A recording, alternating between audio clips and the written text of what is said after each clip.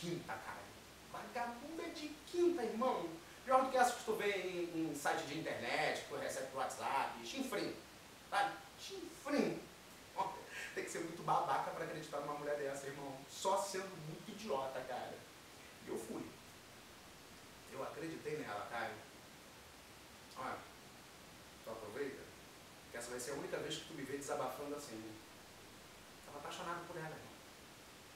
Tava apaixonado, mudar de vida. Ficava pensando, não, porra, pra você, eu sou um cara sério, pô.